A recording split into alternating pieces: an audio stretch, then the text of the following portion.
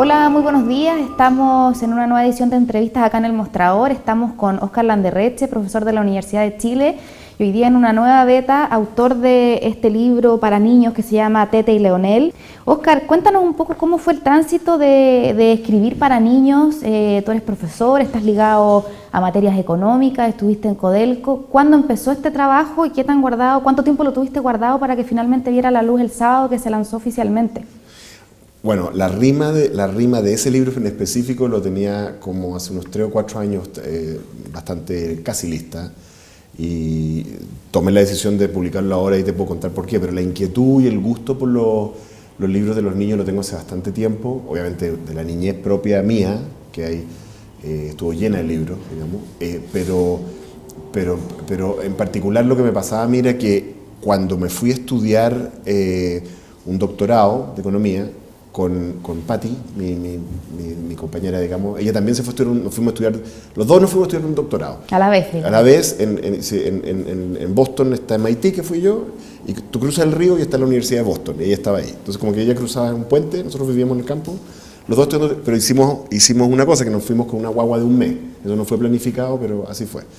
Y eso, y eso era muy duro. La verdad es que hacer dos doctorados para una pareja en en, eh, en alguna de las mejores universidades del mundo que son muy exigentes, la verdad es que fue bien pesado y fue bien caro además, es difícil porque eh, genera muchos gastos en los niños y en esos lugares es muy, muy complicado. Entonces una manera como de, como de desestresarme y como de sacar la vuelta un poco también al, estudio de la tesis era justamente, y, y, pasar tiempo con el niño cuando era guaguita, era leerle. Y, no leerle eh, paper, digamos, claro, de, economía. No, quiero más paper, entonces como que, y, al final como era una sacada de vuelta, eh, hacía harto eso. entonces era como de repente estaba así, le leía, no sé, tres libros, cinco libros.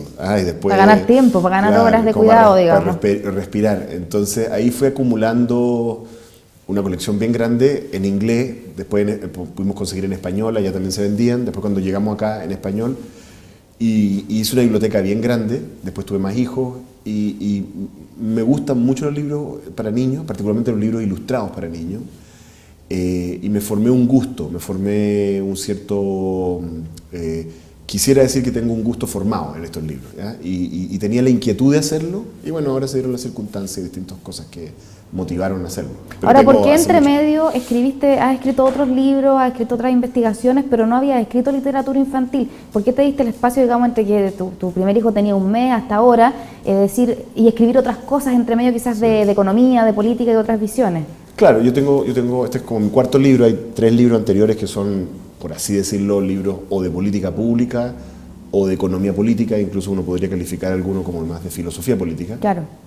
Eh, eh, y, eso está más en el ámbito profesional mío. Yo soy profesor de la Universidad de Chile, enseño economía política, entonces es más o menos a lo que me dedico, ¿no?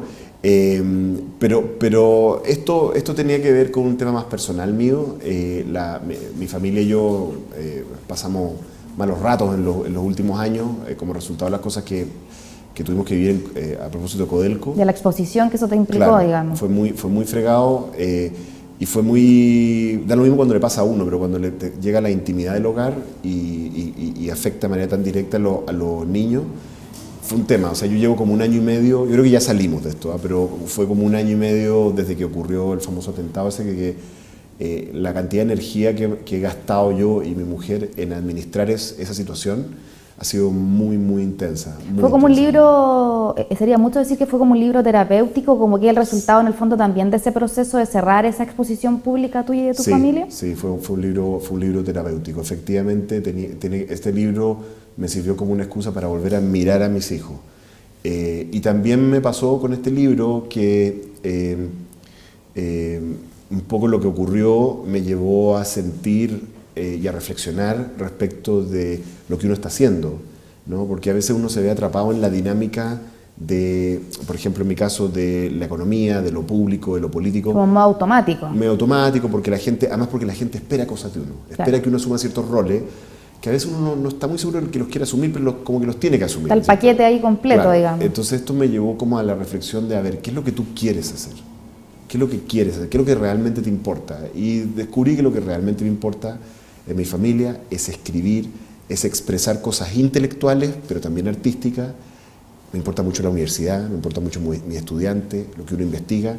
Y, un poco lo que, en lo que he estado en el último tiempo, cerrando el capítulo de, Codelco y de gobierno, es como una vuelta a eso, a como los fundamentos de lo que de verdad quiero hacer. Y, además creo que estoy en la edad para hacerlo. Claro. ¿Cuándo lo voy a hacer si no, digamos? Antes de que entremos a contar un poquito el argumento del libro, eh, tú con eso das por cerrado por un tiempo, para siempre en general tu exposición a cargos públicos, obviamente eh, tu pensamiento político no es adoca al gobierno que hoy día está de turno, pero si cambiara la coalición o, te pusiste un plazo que una vez te dice, mira, por 10 años no, por 5 años no, o es un para siempre no a cargos públicos. No, no es un para siempre no, pero eh, y nunca hay que decir de esta bueno beberé, porque todas las circunstancias cambian. Pero, pero, pero tienes razón, en este momento no tengo una buena disposición hacia eso. O sea, siento que tengo que volver hacia lo mío, hacia mi familia, hacia lo que yo escribo, hacia lo que yo enseño. Eso es lo que siento que tengo que hacer. ¿ah? Eh, y, siento que eso debiera durar un rato. No, no puedo dar garantías de que no lo voy a hacer. ¿Cuánto rato, claro? Pero, pero, eso es lo que siento. De hecho, este libro está planificado que sean tres más, digamos. ¿ah? ¿Tres más? ¿Es una serie?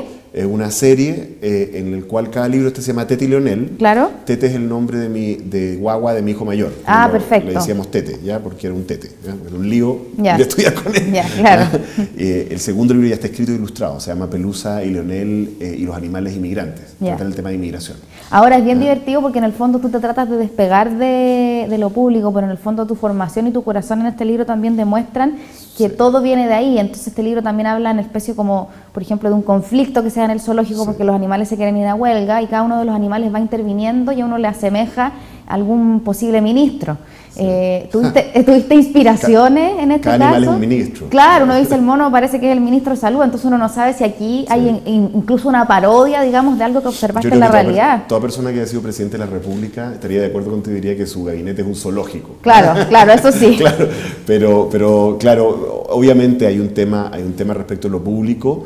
Los distintos libros van a tratar distintos temas. ¿ah? Eh, eh, eh eh, como te decía, el, segundo tiene que ver con inmigración, el tercero tiene que ver con los problemas urbanos y territoriales y el cuarto tiene que ver con minería. Así que si se vende este, pueden saber de qué se trata ese. Y contaminación. ¿ah? Ya, pero el, el, e, este libro trata, eh, de, lo que trato de hacerme cargo es del tema del, del el tono de la discusión pública que tenemos hoy en día, que yo lo considero muy inapropiado, muy inapropiado. ¿ah? ¿La agresividad te refieres? La agresividad. La agresividad porque, porque lo que ocurre es lo siguiente, cuando uno es una persona que tiene un cargo público y un cargo eh, uno, uno, tiene enorme responsabilidad. Es como esta frase famosa de Spider-Man, con gran poder viene gran responsabilidad, le dicen a Spider-Man. Y, no yo, yo, siento que muchos actores públicos no lo ejercen con esa responsabilidad. Tienen una, una relación, vamos a decirlo de la siguiente manera, creativa con la verdad.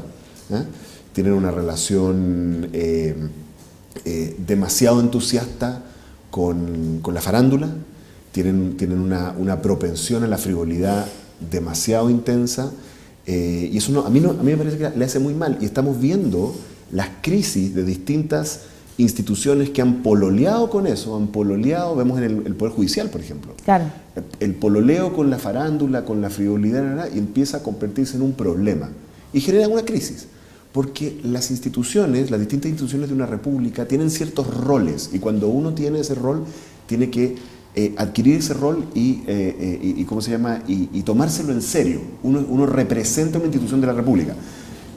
Entonces, ese tono que se ha estado dando por esa discusión a mí me parece muy perjudicial y me parece que creo que al final son los ciudadanos chilenos los que tienen que exigirle otro tono, otro tono a su... Ahora, tú lo haces porque crees que ese tono efectivamente afecta a una generación joven, de niños, cuando hablamos de niños pensamos quizás en los infantes, no necesariamente en adolescentes, entonces te lo pregunto, cuando vemos una imagen, por ejemplo, que, que el gobierno, y tú hablas por tu libro de inmigrante, expulsa una serie de inmigrantes, uno dice esto no tiene impacto en los niños, esto no es tema, eso te iba a decir, ¿tiene impacto efectivamente ese lenguaje? Perdón, el lenguaje, que, el lenguaje político que usan los líderes tiene impacto, Em, eh, eh, tiene dos impactos posibles. A veces cuando los niveles de agresividad y de violencia o de violencia implícita de los actos que tienen los políticos y los líderes es muy grande, uno tiene a veces la tentación de resguardar a sus niños de eso. Claro. O sea, yo hay, hay, cosas en la tele. No veas noticias. No quiero que, que, vean a la gente gritoneándose de esa manera o, o, hablándose de esa manera. No, no quiero porque yo, yo le estoy enseñando a comportarse de otra manera.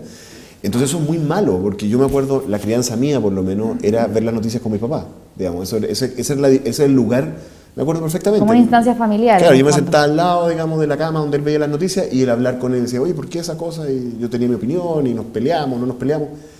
Pero yo veo, yo veo de repente algunos medios, no todos, que colocan un tono que es imposible, que uno tiene que resguardar a los niños. Y lo otro que ocurre es que eh, eh, a, veces, a veces es muy difícil eh, explicarle a los niños algunos de los conflictos que existen. ¿ya? En parte una de las inspiraciones que tiene este libro es que como yo tengo una biblioteca tan nutrida de, de libros para niños, uno de los temas en que yo me encuentro bastante insatisfecho tiene que ver con gente que hace buenos libros para niños, esto es bueno en términos del arte, ¿ya? De- del texto y del dibujo, pero que a la vez tocan temas difíciles. ¿ya? Tengo los favoritos míos en distintos temas, di- divorcio, eh, digamos, adopción, eh, eh, muerte. Claro, pero son temas más generales de los Claro. conflictos. Pero los temas, los, temas, los temas del conflicto social los veo muy maltratados y en general también algunos libros son demasiado partisanos, o sea, como que son así, como el manual poco menos para, el- ¿ah? para ir a meterse al Frente Sandinista.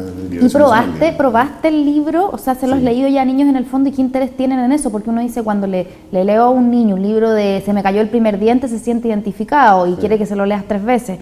¿Qué pasa con, cuando le lees un libro sobre un tema que no le es tan, quizás tan oreja en su día a día? Sí, bueno, el truco es que tiene- ocurre en un zoológico. Entonces, Claro. eso- ya, eso, ya Lo eso- atraemos. Ya eso abre la puerta. Que tiene dibujos, además, Claro, tiene claro. dibujos, hay un zoológico, hay un mono que es malo, hay un, hay, hay un, hay un león que está Está problemado. escrito en rima, además. Claro, además hay una cosa que es como el, el truco es, por supuesto, el viejo truco de perdido en el espacio, ¿no? Claro. Perdido en el espacio el niñito que mandonea un robot gigante. ¿Cuál es la fantasía del niño? El niñito que mandonea un león. O sea, Claro. como- ahí ya estamos adentro. Pero el, eh, yo lo he probado con, con niños, con mis niños y otros niños, y funciona, eh, dependiendo de la edad, el Obviamente. grado de complejidad que entienden del problema es distinto, ¿no es cierto? Eh, pero lo to- pero lo- lo ent- no, no es que entiendan todo el- lo, lo que está implícito en términos de economía y economía política ahí, pero, pero, en el fondo, pero en el fondo sí les inquieta, sí hacen preguntas, no están completamente de acuerdo con las posiciones que toman los distintos, Claro. los distintos animales. Eso por si acaso es a propósito. Genera debate, digamos, obviamente. Y yo creo que lo otro que es bueno del, de- del libro, eh, eh, que también tiene que ver con mi experiencia leyendo libros para niños, es que lo, lo hicimos en rima, lo hicimos en rima, rima consonante, a veces suena un poquito a paya, ¿no?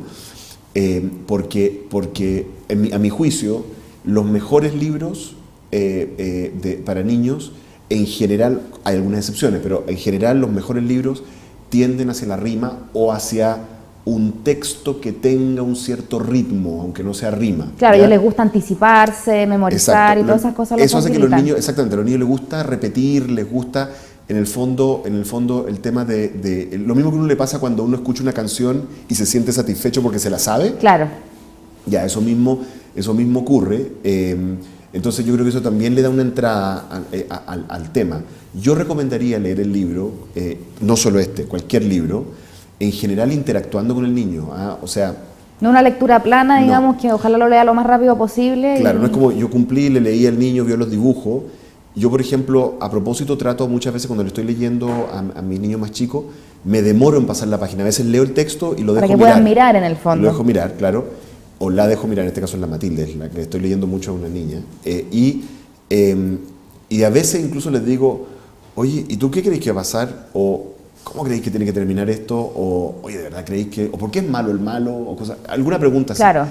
Y a uno le va a sorprender de repente, si es que es interesante el libro, si no está interesado como que... ah, Depende del momento, depende del claro. momento, pero te puede tirar un rollo bien interesante y generar una discusión importante. Y, y- y yo creo que eso es lo que busco con este libro. ah, Busco dar un... Con la fondo- serie que viene, digamos, Exactamente, probablemente es, a es- es buscar un, un instrumento que, como te decía, cada libro es un pequeño homenaje a cada uno de mis cuatro hijos, ¿ya? pero va a tratar de un tema, un tema distinto, eh, siempre en rima, siempre lo vamos a mantener entretenido. La Claro, porque hablar de minería a los niños uno se imagina una cosa un poco Ah, tediosa y dice... tengo un topo. Claro. Un- Ah, ya, un claro. topo- un topo que, que saca riqueza de la tierra, pero deja todo sucio. Claro. Bueno, o sea, uno puede encontrar una manera, Una manera de hablar esto, ¿te atraerlo. Eh, ¿Cuál es la edad ideal o en qué público objetivo está enfocado? ¿Niños desde más o menos qué edad? Yo creo que este libro funciona con niños desde. Bueno, a mí yo, te- yo se lo leí a un niño de tres años, digamos, pero ahí funciona más bien los dibujos y todo. Claro. Pero más o menos ya empieza a funcionar desde los cinco años. Yo creo que es un libro, yo he visto niños de 12 años interesados en este libro. Y, bueno, va dirigido también al adulto que se lo lea al niño. Claro, que no sea un tedio leer el libro también para uno. Úselo como una excusa. Mire, vaya a la, a la librería, cómprelo, dígalo que es para su hijo, pero léalo usted. Oscar, eh, este trabajo te ha mantenido abstraído porque también, bueno, eres profesor y cómo estás observando también en el fondo ahí eh, lo que está pasando con la economía, con la coyuntura, cómo lo vas mirando, lo estás mirando de reojo, estás atento a las cosas que están pasando, se acaba de anunciar una reforma, cómo conjugas ambas cosas y qué estás observando en general de, como ciudadano y como profesor hoy día de, la economía chilena. Bueno, a mí, me a mí me toca meterme profesionalmente en eso, desde la universidad, en el ámbito de las políticas públicas, estoy siempre mirando a propósito me he retraído un poquito. Ahora a propósito del libro, la gente puede observar que volví un poco a redes sociales. He estado haciendo una, una humorada, que es colocar eh, comentarios en rima sobre la CACEN, sobre los impuestos. Eh, Lo que ha sido bien celebrado en redes. Sí, sí. No sé si voy a seguir en redes para siempre. ¿ah? vamos a entrar un rato, pero tengo que verlo porque la verdad es que ahora que volví, yo, me salí después del atentado de redes, ¿ah? claro. por ciertas cosas muy oscuras que, que sentí ahí. Eh, y volví, y la mayor parte de lo que me ha tocado es súper bueno, hace gente y chistoso y todo lo demás, y entretenido, pero hay harta oscuridad. ¿Pero te interesa participar de la discusión económica? Eh, quizás no desde el gobierno, pero sí desde la academia, en todo lo que está pasando. Por eso, preguntaba en el fondo por la, por la reforma, no sé si pudiste mirarla, o también hemos estado en una época muy movida también de, de huelgas mineras. Eh, ¿Cómo vas mirando eso? ¿Como que te dan ganas de opinar o te tratas de retraer? No, estoy, estoy, estoy mirando, en ocasiones doy mis opiniones públicas, pero pero con mucho más, eh, eh, eh, no moderación, sino menos frecuentemente que, lo que, lo que te incentivan, como el ámbito este como de, de, las redes sociales que tratan como de, impulsarte a hablar de todo como si supieras. Claro, el experto en todo. No, y no solo eso, sino que a representar una persona virtuosa, así, indignada con todos los demás que son una manga de miserables. Yo lo encuentro eso espantoso. Yo soy una persona que conozco mis defectos, está lleno de ellos, y no, y no voy a andar representándole una payasada a la gente. Entonces, siento que en este momento como que no es posible ser un actor público si uno no hace como todo este tipo de todo el juego. Ahora, deja, déjame usar un comodín entonces, porque yo creo que de eso sí tienes una opinión, una opinión que puede guiarnos.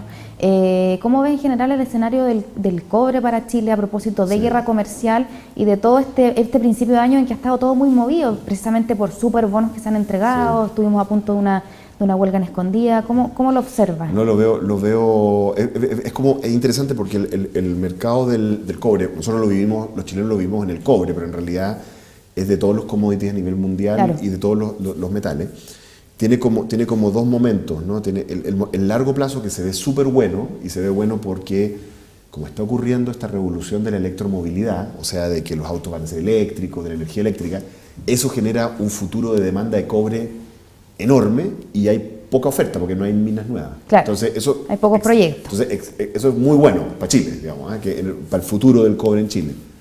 Pero en el corto plazo, la verdad es que se le ha movido el piso al cobre, básicamente por los, temas de Estados Unidos, o sea, Trump y sus cuentos, le, han, afectado muchos precios. Y eso genera, genera un problema. Entonces, la, huelga, las huelgas que ha habido y, los movimientos que ha habido, medio como que entraron en una cosa medio anticlimática, porque como que se produjo una especie como de escalamiento, es como de, ya, viene un periodo de vacas gordas, vamos a negociar fuerte, y de repente se vieron que que en lo inmediato la cosa no está en tan buen pie para negociar. Entonces, como que, y también le pasó a las empresas, ¿ah? le pasó a las empresas que dijeron, ah, los precios van a subir a largo plazo, ahora vamos a invertir, grandes proyectos, vuelta, ah, vuelta como al entusiasmo, y de repente, se cae el precio del cobre, eso significa que no tienes tanta plata, tenés que tener más cuidado. ¿Crees que tiene que ser una época en general de prudencia económica en todos los estamentos? Yo creo que sí, porque hay, a nivel internacional están ocurriendo cosas que son bien inciertas. Eh, que no sabemos, o sea, todos queremos creer que el caballero este va a perder las elecciones en Que no nos va a afectar tanto, que no estamos tan expuestos en el fondo. pero el mundo nos, nos, muestra que ha habido periodos en que, lo, por así decirlo, los malos ganan ¿ah? y, y durar a veces. Yo no, no, estoy tan seguro, yo creo que, yo creo que, hay, que, hay, que hay que ser cuidadoso, no hay que, por así decirlo, empezar a asumir que tienes cosas que no tienes a futuro. Que tienes carreras ganadas, digamos. Claro, hay que, hay que irse con cuidado eh, y calma, ser muy prudente, pero... Pero no, yo estoy observando los fenómenos eh, eh, públicos, pero como van a ver, me voy a, voy a tomar el tiempo de, de, ver por dónde dar las opiniones cuando corresponda y cuando se me ocurra la rima. Oscar, te agradecemos mucho. Le recordamos entonces a la gente que Tete y Leonel en la huelga de los animales ya está disponible de Editorial Planeta y viene otra serie que nos esperamos conocer pronto y que te haya muy bien con el libro entonces. Muchas gracias. Gracias por haber venido.